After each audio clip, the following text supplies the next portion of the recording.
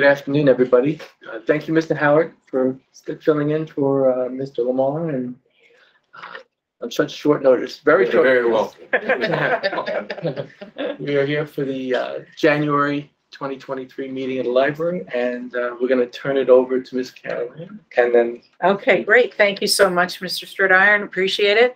Um, we're excited for this new year. We've got lots of great plans and a lot of that will come out in today's report. Um, one of the highlights of our, our program have been our Friends of the Public Library, of the Newburgh Library, which is our, um, nonprofit 501c3 arm, fundraising arm. And for many years have, have supplemented our programming through book sales and have now come up with ingenious ways to hold book sales. And so I, I've invited them here to give a brief presentation about what they're, what they've been up to and how successful they've been. So we have Donna Ricky and Suzanne Dawes. Take it away. Thank you. Take it away. Hi, I'm Suzanne Dawes. And um, I was mentioning earlier that I'm only ever been in this room when it's been really, really heavy stuff. It's nice to be, I, I taught kindergarten in the positive. district for many, many years. So it's nice to be here in a, a less formal situation. The Friends of the Newburgh Library um, were founded in the mid seventies when this building was open and we moved down the street from, I think it was two or something, Grand Street. Uh, for the last fifty years, we have supported programs of the library through advoc- advocacy and also with our financial support. We're often able to support things that are with beyond the library budget. You know, last minute things, things that pop up during the year and, and that kind of thing. Uh, some of the things that we provide ongoing support for are refreshments for programs. I mean, a nice, a nice thing that the library cannot put in the budget. Incentives for re, for reading programs. The summer reading programs are able to give incentives, T-shirts and, and even books, Mhm. book things like that to children and teens and also adults. The flowers for the plaza and the beautiful artwork on the plaza is something that we were able to support through, through our funds. Um, we, you know, marketing things for outreach programs. For the last fifteen years, we've awarded a scholarship to a graduating NFA senior in honor of Regina Angelo. And we established that the first time Regina retired. And, and it, um, we, uh, try, we make every effort to make that award to a student who has been involved in the library as a page or a volunteer or in that kind of way. We also support many of the community events that are sponsored by the library and other agencies. For instance, this past year, we sponsored, we helped sponsor Family Reading Day with, with the Board of Ed. We helped with the African American Cultural Celebration at the beginning of the school year. The Day of the Dead celebration that was held around Halloween. And we've also, because we are a 501c3 organization, we can apply for grants. And sometimes we're even able to help a, an artist in the community who would like to apply for a grant but has no possible way of doing it without a CO, uh, 501c3 uh, certificate, but we can help them apply for a grant and then they can do a program for us. It's kind of a reciprocal thing. And we were joking a little bit earlier about our annual book sale. I mean, some of you probably remember the annual book sale where we would transport 8,000 books from the first floor up to the auditorium and then have to return everything the next day. Or It was backbreaking work and we're all getting older. We would not, never have been able to do it without the help of the NFA ROTC and they're, they're great advisors. During the pandemic, of course, we did, we were two years without a book sale. And during that time, Mary Lou suggested that we use the book, book storage slash junk storage room on the first floor as a shop. And when she first s- mentioned it, I thought, well, in my, mi- to myself, I thought, well, that's never gonna happen. That's really, first of all, where is all of this stuff gonna go? It's just too big an undertaking. Well, thanks to the vision of Donna and a really hardworking team, we have established a wonderful bookshop downstairs on the first. If you have not seen it, you need to go look at it, Please. please. It's a mini library. It's a mini, it's a mini library. It's wonderful. We're open, currently, we're open one Saturday a month. And I'll skip the backdoor books for right now, because Donna will go into it more in a little bit. Um, and, and just tell you, do you want to talk about Jenna? Yeah, Yeah, okay, Yeah. well, Donna can talk about that as well. And I just, the last note that I have is, I hope you've noticed the Friends Cafe in the lobby Yes. uh, that's reopened after, after the, uh, pandemic. And we're fortunate to be able to have that space and use it. It's a warm and inviting space. And the, the baked goods are baked by one of our library staff people. Wonderful. Has her own business. Has her Sandy's own Cookies. business that Sandy's we're Cookies. able to- Yeah. yum, yum. So I'm And gonna we're have doing the had, Star Project there too, which is neat. wonderful. Which, so we, you buy a cup of co, you buy two cups of Yeah. coffee, you put a cup of coffee on a piece of paper, put it on the bulletin board, and then someone who doesn't have the funds for a cup of coffee or soup or a bagel can pull that note down. It's already been paid for and turn it in. Place in New York City does that, a pizza place or There's something like that. there's a that. Number of places. Several, Yeah. Yeah, that you locally, can- it's run by a group called the Impact Project, and, and so we're, we're one of the branches. That's Oh, great. Cool, that's cool. Okay, so Donna will talk a little bit about backdoor books. Okay, excuse me, Donna Ricky has, uh, Mary Lou had, uh, in, uh, said, um, since we opened Backdoor Books in July of twenty twenty-one, excuse me, we've created a place where book lovers can come and browse our ever-growing shelves. Oh my God, I need more shelves. We have taken in monetary donations of well over nine thousand dollars since we started. And actual book donations from the community at large of well over five thousand books that have come in, that we've gone through, sorted, shelved, um, and went from there. We have all the genres like you would have in the main library. We have them downstairs and it's ever growing. And, uh, our children's section has now become the proud owners of the rug, the multicolor rug that was at the town branch. So it has the, the vision that I thought of when, okay, how are we gonna make a bookshop? Because I'm an avid reader. Um, it's just added to the location of, of that. Uh, March of this year, um, our Mrs. Jung from Horizon School was, uh, named Librarian of the Year, um, with Jenna Bush Hager and the Today Show. And part of that, her getting, uh, uh, nominated was that the Friends of the library were able to receive well over and twenty-eight hundred books that end up being. They originally said two thousand. Brand new books from her virtual book club was donated to us. Beautiful hardcovers, brand new. Every hardcovers, yeah. hardcovers, and we still have some left. Um, I was, I'm totally overwhelmed. I thought, okay, does this fit on a few shelves? No, it filled up the whole back. I, we just got boxes and over a hundred boxes, you know, when you said there was a hallway full of boxes.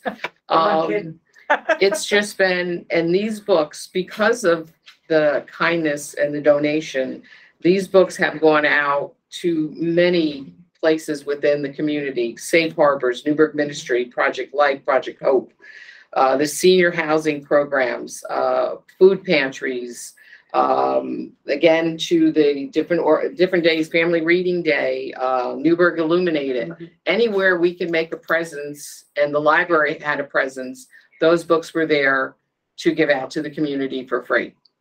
Um, it just, and we're still doing it. We're still, this, the nursing homes, uh, Office for the Aging in Orange County. These books are going out there. In addition to the Jenna books, we're giving them other books too that we have, uh, when we did the Orange County, um, senior fitness program, the ladies that were there and gentlemen wanted the books, but they were more interested in James Patterson and all that. So as we get those books in as donations, I pack them back up again and they go out to these people. They're handed out with their mail delivery. uh, Meals on Wheels, they're mail delivering for Office of Aging. So we are getting out into the community. Our names are out there. Um, even, um, Patty Sussman's Tuesdays at two. She's gotten quite a few of the book selections also to, to read and everything. Um, we support, as Suzanne says, many of the programs, uh, the new Library of Things, which was at Meston, you know, our Right, forgot that one. donations, prizes for the summer reading program. And again, if Mary Lou didn't say, okay, you can have this room, and I'm like, okay, you know, but, uh, please, whenever you're in the building, please stop in, even if we're not there, the room is open, you can Yes. browse Mhm. And uh, go through it. Um, the group of people that make up the Friends of the Newburgh Library are dedicated to promoting literacy and getting books into the hands of our diverse community. And nothing will stop us. Even I had books in my car and I was at Adams and this little boy was in the cart in front of me and everything and they were coming out. And uh, I said to the mom, I said, does he like to read? Oh, yes, he loves to read. I go, one minute. And I went to my car, I got green eggs and ham, because I always carry books. I, you never know when you're gonna find a kid. And I said, here, you know, she says, you're giving him a book? You don't even know us. Doesn't matter. I'm putting a book in a child's hand, and that's what we're here for. Fantastic. And that's Backdoor Books and the Friends of the Library. That's us. That's us. That's us. We're And the one thing that, you. that we could use help with is, um, word of mouth. Yeah. Our best publicity is word of mouth. And, you know, we, we have limited ways to, to advertise ourselves. We can Yeah. have flyers at Adams, we can have flyers downstairs in the lobby. We post some things on social media, but the more people that know about us, the Yeah. better we are. Come to our, we, our next sale is the twentieth. Uh, next, not this Saturday, Next next Saturday. Saturday, the twenty-first, if I'm not Something like mistaken. whatever. Um, we're open from ten to two. Um, I'll be putting my sign, my lawn signs out on Sunday for, to tell the, the community we'll be open. And, um, Can we show the picture of the, or did it not come through? Did it not Didn't come come- didn't come through? We'll Pass that around. But also, the word has somehow gotten out to even anonymous donors about how wonderful the Friends are because um, we received a check the other day in the mail Oh, for that's- ten thousand dollars. haven't talked about that one ten thousand dollars for the Friends of the Library. And it was from a fund um that was, uh, there, there were two donors listed on the letter.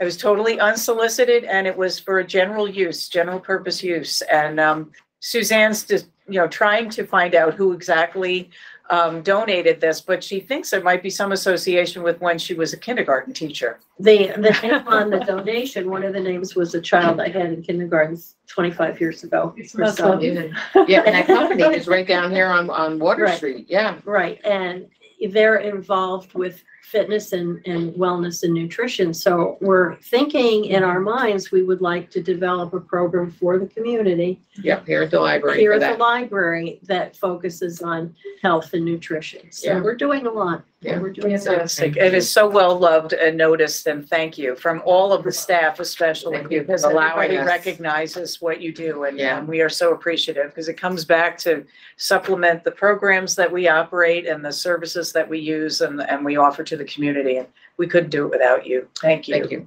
Well, we appreciate the opportunity to talk about ourselves. and Thank Yes. you for your support because we need all the support we can get. Yes. Got it. Yes. Okay? Okay, Thank thank you. you. Appreciate it very much.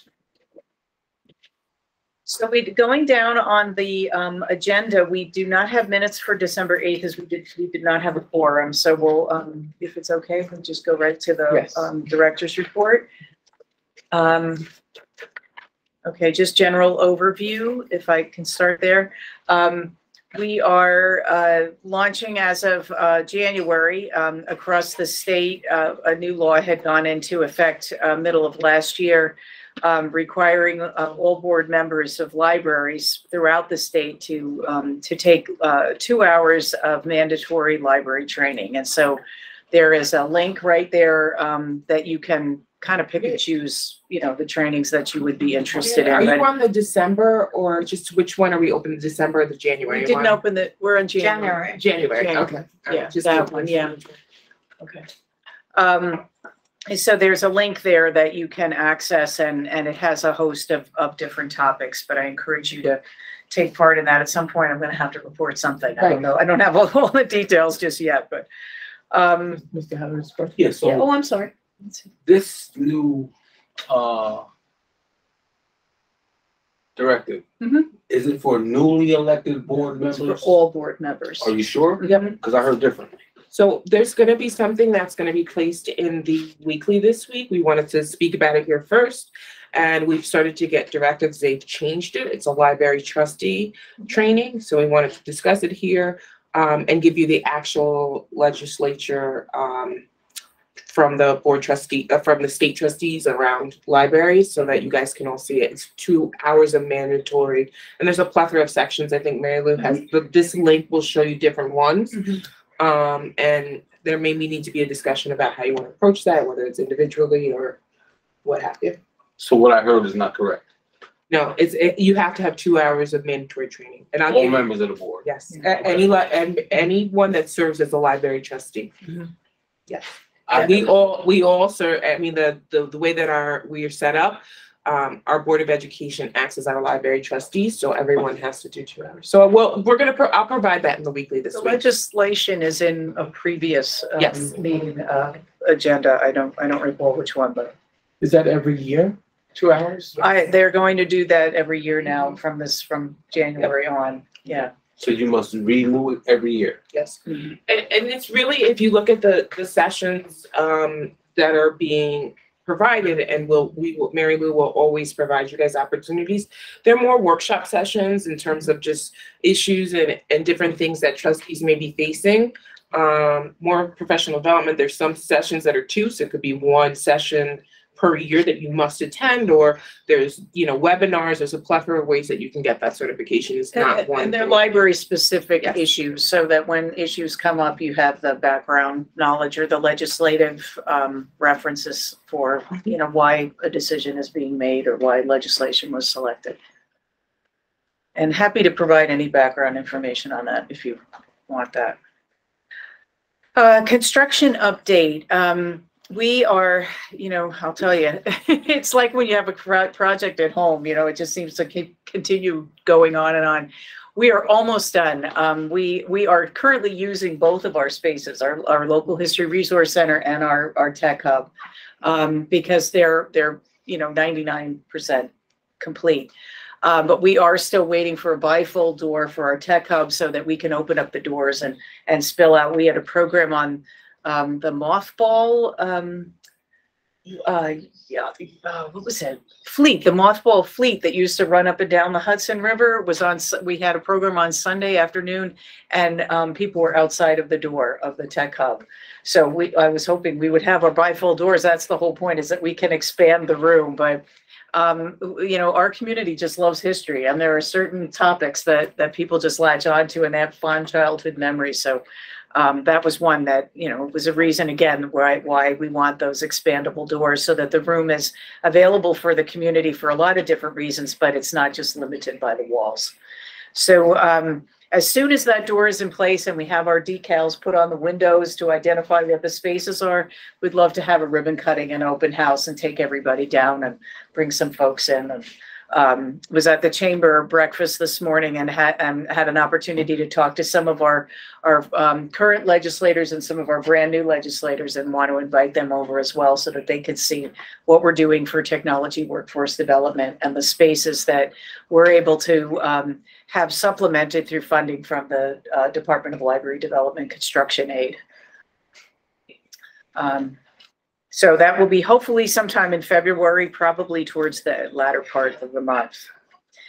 Uh, the Tech Hub, um, y- you know, really inspired, um, our technology workforce development, uh, initiative. And, um, we were thinking about how can we supply, um, folks in our community whom we see from, you know, the very beginning of how do I turn this computer on to, I really want to have an IT certificate so I can get a better job um, a soup to nuts program and we had some lots of discussions with people about how we can get this going. We we do offer a lot of computer classes, but we wanted to to um, create something that was more um, like a cohesive, progressive training session, a series of sessions and cohorts. Um, so we we created that and we um, applied to um, the CFA grant from uh, New York State, a consolidated funding application and we were awarded two hundred fifty thousand dollars to run this program. Um, so we are excited to, uh, to be able to do that, to start up in February, hopefully. And, um, and it will run for a year. And we'll be able to have, um, it's eight different cohorts, foundations to, um, you know, to actual boot camps, you know, with specific training and certificate programs. Um, so we, uh, we have, uh, we're hoping to contract with a, a local organization um, uh, who supplied an RFP for this, um, and uh, they are Open Hub, and they're um, they're able to provide the services for the um, the variety of of opportunities that we want to offer. And these are all free trainings to the community. Um, and so we're we're excited about that. We will utilize a new tech hub um, to initiate that program for this this coming year. Very nice. Excited about that. Um, our town branch, uh, we closed on December thirty-first officially. Um, I still have to bring the keys back, which will probably be tomorrow. Um, but we, um, you know, we, we've consolidated our staff. Um, we are having visitors that used to always go to the town coming into the main. Um, and, um, you know, it's, it was a little bittersweet, but we are, um, you know, as I mentioned at, at the last board meeting, you know, we didn't know that opportunity was going to come to us. We didn't anticipate that it was going to end, but we're excited about what the opportunity that we would have ahead of us that we don't know about yet. So are, are we tracking those numbers? Do we, are we actually tracking to see the individuals who used to use the town branch? When they come in, are we able to identify these, okay, this used to be a town branch member so that we can get an idea of the numbers? Because, Hmm. I mean, going down the line, you're gonna have conversations around, you know, you you taking our library away from us, we're not able But if we can see that we're tracking those numbers that people are used, coming down in, in lieu of. We are, uh, our staff, there was such a collegial kind of, um, loving atmosphere over there that the, the staff that used to work over there is really engaged with the people who come in, that they know, the families, um, a lot of seniors, because it was easier to navigate that space. Um, and so they're still really engaged. Um, and, um, and we are, we do track their numbers coming in. Um, they know the families that are coming in. Um, and we are also, um, gathering all those names because we're, we're going to be featuring a couple of, uh, town halls in February, uh, throughout the month, two of them in February. Uh, Zoom calls with, um, members of the community to assess not only the, the, um, directives of our strategic plan, but also when we, one of those is, is facility. So when we look at off-site locations, what, what are we thinking? What, what, um, what does the community want us to do? Because we've had so many different ideas, like everybody gives me another place that's empty, you know, another vacate, vacant, um, storefront.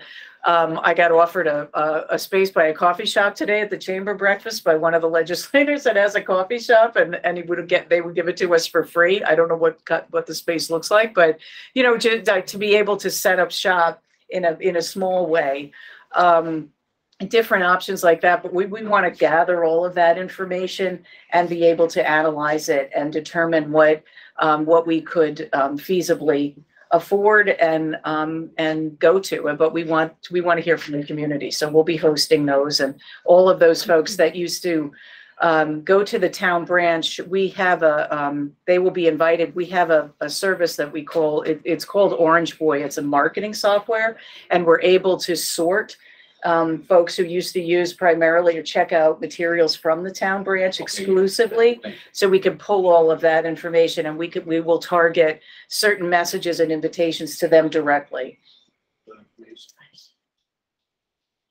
Uh, let's see, where are we? Safety site assessment. We are having, uh, one of those done on February second by the Orange County Sheriff's Department. Um, the, the officer who presented to, um, this at Staff Development Day last year, last month, it was last year too. Um, he is going to be also, um, uh, he did an active shooter training for us and then he's going to walk us through our, our entire three floors and point out safety issues, concerns, um, you know, blocked areas, places where staff can go, where patrons can go that, that are safe. So we're gonna do a thorough tour of the building for that purpose. And we're looking forward to that because that, that's a big issue with our staff as well. and big concern that I have with um, people being right on the front line there and, and not knowing, you know, where do I go if, God forbid, something happens. So um, we're, we're educating everybody, we're giving them the tools, we're giving them the strategies, and, and hopefully people will feel safer and more protected. Uh, this, as I mentioned, the strategic planning town halls, um, once we have those set up, um, we will share those dates, and I hope that, that you and, and others that, that you share the, um, information with will, uh, participate. We wanted to do Zoom so that it was accessible and we could do some evenings and some mornings. Um, uh, so if you have people that you would like to participate on those, please just forward those names to me because we'll make sure they get an email about that. Uh, policy updates plan, our policy manual, um, needs updates. I think every policy manual does in one way, shape or form. Um, but we are, uh, we're going to chip away at that this year. We're going to start, um, we have a, a public engagement team meeting of our staff on, uh, the twenty-third. and We're going to do a full planning session, um, to start looking at our program policies, our, um, procedures and, um, uh, you know, and, and start to chip away at, at the policies that just need updating and um, different things, you know, uh, so much has changed over the last few years that, um, you know, our service model has, has altered. And so how do we adequ- adequately reflect that and address some of the changes? I just also want uh to let the board know that those out of the work that comes from the work session, those policies, because it's a a kind of a umbrella policy, will go to the policy committee as well. So I think um Mr. Forget, w- I I don't know if he went over it this time or next time, was going to review as well, that whatever they do will still have to go to the policy committee as well. Oh, sure, yeah. Mhm. Great, thank you. To like touch base in both places. Yeah. Two sets of eyes. Yes. Right, um, just a few other highlights before, um, I, I go into some of our motions. And, uh, I, I hope that you have a chance to look at, um, the details of the report. We have been doing so much community outreach, um, that it is really exciting from the Mount St. Mary staff to Storm King School, um, to various organizations within the community.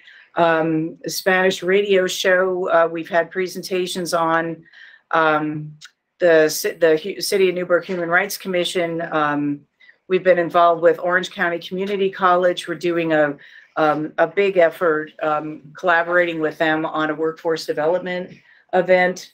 And, um, you know, just some really exciting ways of putting the library out in front of organizations that may not have known what our, um, you know, our, our direction is and, um, where we are in today's technological world. And so it's been very exciting. We had a a fantastic Kwanzaa event here in the auditorium on um, the 28th of December. We had uh, close to 140 people. And it was a fantastic celebration. It was educational, it was cultural, it was um, just a really beautiful community development, uh, you know, um, uh, experience. And people came from all over. So it was very fun. Um, just been uh, wonderful for the staff to be able to participate in these um, events and activities and programs because they get to interact with the community and find out more ways that we can serve based on the needs and the interests of, of the people that um, that are in our, our service area. We learn a lot. Um, just wanted to. And we just uh, brought on a new um, uh, librarian for the Local History Resource Center, and uh, she is going to be working on the African American Civil Rights Steering Committee, um, which is the program that that we were part of the grant application with the city to um, create oral histories of um, so many of our our elders in our community that we want to capture their stories and their um, their historical experience in the city of Newburgh. And um, so we, and we want to be the archive for those oral histories. So you could come in, find a name, you know, sit down, listen to their stories and, um, you know, it, and we are a place where, where that can um, be accessed. We, we've met uh, with Mary McTamaney from uh, the city historian, had big discussion on how, because the, the, lo- the um, local history um, commission and uh, um, the local historian, they are um, either part-time, very part-time, or they're volunteer. and they're not open except by appointment, whereas the library is accessible. So we're, we're looking to be that central location for, um, for people to be able to access, uh, this information. I'm curious, so that's a very interesting uh project there. So how are you reaching out or finding these individuals? Because I'm assuming, I would assume that those people with that most uh knowledge and that information that we're talking about, some to be archived, would be older individuals. So Yes. who have been here for a long period of time. Mhm. How are we reaching out or what what tactics or The, the we steering, no, the that's a great people? question, and the, the steering committee is comprised of about 20, 25 people from the commu, uh, from our community. And, um, everybody has different connections with different family members, uh, or different, or friends or neighbors, um, people who raise them. And so we're reaching out and, um, we're, we've been doing interviews. Um, li- librarians are being trained to conduct interviews through the Sound and Story Project, and we even have high school students who are are conducting interviews with the recording equipment and um, loving the fact that I, I told one of the other, the other day, you know, you're making history by doing this because now you become part of our archives. You have recorded the history of, you know, whoever the person is that they're meeting with. But we are, we are work, kind of working backwards. We're looking at the folks who we really need to capture their stories sooner rather than later. And, um, uh, you know, and, and so there's this, there's a committee of, of, uh, over 20 people what's the timeline for the com- for the completion of of this? Uh, we are working through this coming year. Uh, you know, it's extended a little bit because we, we've had people get sick and, you know, it's kind of delayed things a bit. Um, but we have the equipment, we have the schedules, we have the interviews set up and, um, you know, we're kind of kicking that back in gear, um, as we get back into the, this new year. But it's exciting. And if we can have archives of, and keep the, the African-American history of our city, you know, in this place where it's accessible, I, I think it'll be a beautiful addition to the- So the library. just in terms of the steering committee, um, Mary Lou, I think that it'd also be important to include, I know we have city, you're, you're talking to the, um, is the, um, Historical Society. I know that there's a couple of civic, um, institutions. I don't know if they've been invited, so like, I'll double check with you, just as a person Mhm. that's from the community, as African American, just hearing this now, I'm like, wow, I didn't really kind of know that. And I think that also our, our elder community, how are we incorporating the, the, the local churches? Because sometimes they have um, that ability to support um, your project and making sure people that maybe can't get as out as much can get to tell their their local history.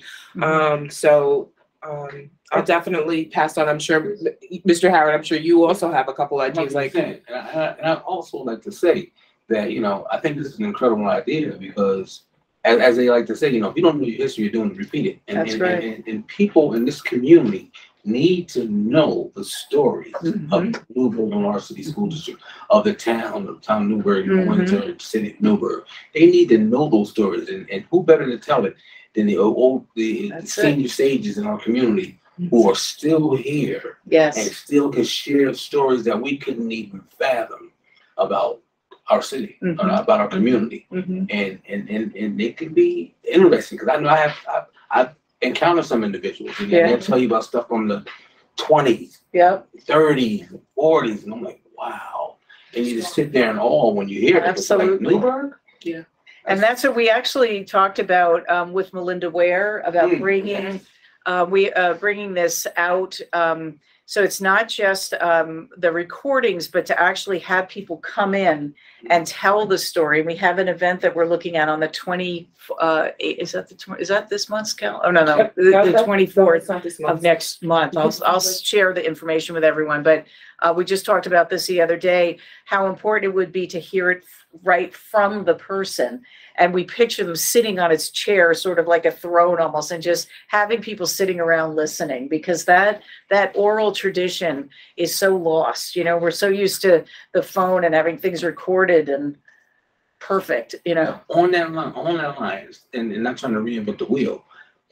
I know about a year or two ago, I attended a meeting of the African His- His- Historical, that's what I'm saying. They've already started this. They've already started some They've of it. done this. They, and they are in with this, I'm sure. Okay, Yeah. so they've done this before, and they were out reaching out to some of the older individuals, Mhm. senior individuals in our community, and, and, and exactly what you were saying, having them sit down, Mhm. asking them questions, and, and really getting some incredible information about this area in the city, and, and so that, that may be an opportunity for you guys, not to like, you know, start from scratch, and it's, and see Right, what they have.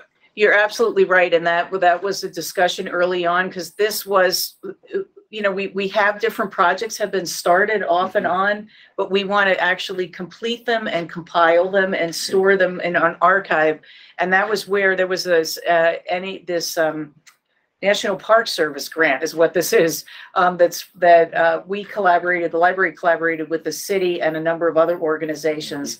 It's not a huge grant, it's only a fifty thousand dollar grant, but it enabled us to buy the equipment and um and to be able to train people to to actually you know give an oral history because it's it's a technique. It and um so so yeah so i think this is an iteration of that Right. um but it, it's with has some money behind it and then hopefully some the long-term plan to, to archive the stories It's exciting. yeah yeah it's great yeah this you know people in the community are just so creative and and excited about preserving what is so important to them and so good things are happening. So I don't want, I, I just have two motions, um, that are, are, uh, one is to, um, dispose of obsolete equipment. Um, we have mobile shelving in local, in the old local history room. Uh, huge shelves that were supposed to be mobile that have never worked. And they're, um, all those shelves have been emptied now and they're, the materials are in the new local history resource center downstairs on the second floor. So we would like to open that space up and be able to utilize it for other things and, and get rid of those big shelves that never functioned in the first place. We're good with that? That's good. Send that to the Um, board. Okay, thank you. And then the other uh, motion was to accept these funds. Um, We, you know, the New York State Department of Library Development um, is where we can, uh, libraries can apply for funding for um, renovation or new construction. Um, You know, we have a lot of buildings like ours, which is almost historic. If it's 50 years old, it's historic, so we're getting there. Um, But that are, you know, uh, that were falling apart. And so the state years ago, 15 years ago, came up with a plan to how do we address this for libraries because they are public spaces and they need to be, you know, functional. So we applied and received um, the funding to create the two new spaces that are on the second floor. And what the grant does is it, it, um, you have the potential of getting fifty percent back. Um, but, uh, the funding isn't as great, wasn't as great this year, so we're getting thirty-two percent back. Um, but we did get a, a check the other day, which I just love six-figure checks, um, for two hundred and sixty-two thousand, one hundred ninety-five dollars. And I'd like, and that will replenish um, it, it- you know, it's a reimbursement basically for expenses that we have put out from, um, library funds. So. All right, I'll let's go just- to the board for accepting. Yeah, absolutely. All right, good. We're Good on those. That was, we, we had the friends first, so that was the next thing on my agenda and I just, uh, our next meeting is February 9th. So just a point of information. Yeah. So When the, when the ladies were talking earlier, Friends of Library. Yeah. So I don't know if everybody here is familiar, but you know, on the other side of the parking lot, that used to be a library. Yes, uh-huh. And a lot of people don't know that. Oh, yeah, That, it's that was beautiful, ninety-two yeah. Grand Street, that building. Yeah. That way, yeah, On where- this yeah. way. Yeah. church, when I when I was a little kid, that, that's. That's the where you library. went, and the used to go- spiral staircases. and- staircases, That's what people absolutely. remember and all Yeah. the little uh, balconies and Absolutely. yeah, That was. Very that was- exciting. that was the library. beautiful space, it was. beautiful space. Brought back memories. and shit. Yeah, And oh, a lot of people have those, you know, they remember that space and Absolutely. make new ones in the new space. Yep. We're excited. So there was an emergency with the um NECSD representative, so she will present at the la- at the next uh committee. And, and just to follow up, as I, one thing I did want to mention to, to Kelly was, um, she had asked about Library Advocacy Day. And it is scheduled, um, for February, what is that number, twenty-eighth? Twenty-eight. 28th uh, up in Albany. And so we will connect. Um, I, I've sent this to her to have a dialogue.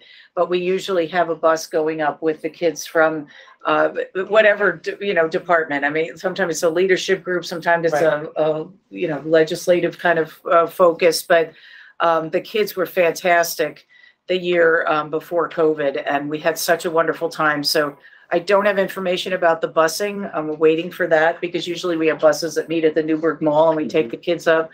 Um, but we're hoping to do that. We will do that again this year. And I think that you guys will see they do have a lot going on. I actually reviewed her presentation with her, so I'm like, I can't, I can't wait for you, for the committee to hear Good. all the wonderful thing the library and media specials are, are doing throughout to incorporate um, literacy and to really um, engage in all different type of learning activities with our with our students. So um, I just can't wait for her to, show you. And they're they're also a champion of some of the digital um, the digital uh, citizenship work. So they're really really um, doing a lot of great things. So I can't wait for them to be able to speak, for her to speak to some of that work. Look forward to hearing it. Great. Well, that was all I had. Thank you very much. Thank you, Mr. Howard, for Thank coming out. much. Next February. All right. Thank you, Thank you. everybody. Haven't been one of these in a minute. Next. I know, we I might missed start you. coming back. Uh-uh, we missed